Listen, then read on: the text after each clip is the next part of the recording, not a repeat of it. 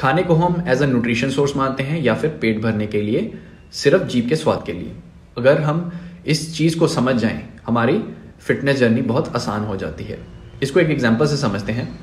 Late से ये तिल के लड्डू हैं सीसम सीड्स बहुत से लोग इसको एज अ स्वीट्स खाते हैं और क्योंकि बहुत टेस्टी है, बहुत ज़्यादा खा लेते हैं, जिसकी वजह से उनका मेंटेनेंस से ज़्यादा इनटेक हो जाता है। बट अब मैं इसको एज अ न्यूट्रिशन सोर्स मानता हूँ।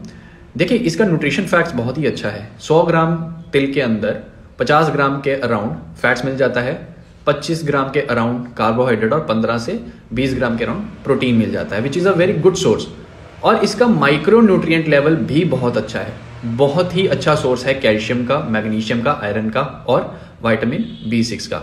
इनफैक्ट कैल्शियम तो इसमें दूध से भी ज़्यादा है। 97 परसेंट अगर आप 2000 कैलोरी पे है 97 परसेंट इसी से आपका पूरा हो जाता है। तो ये समझने की ज़रूरत है कि क्या हम फ़ूड को एज ए न्यूट्रिशन सोर्स मान रहे हैं या फिर सिर्फ़ पेट भरने के लिए जीप के स्वाद के लिए। इंफॉर्मेशन समझ आई, अच्छी लगी, दोस्तों के साथ भी शेयर कीजिए।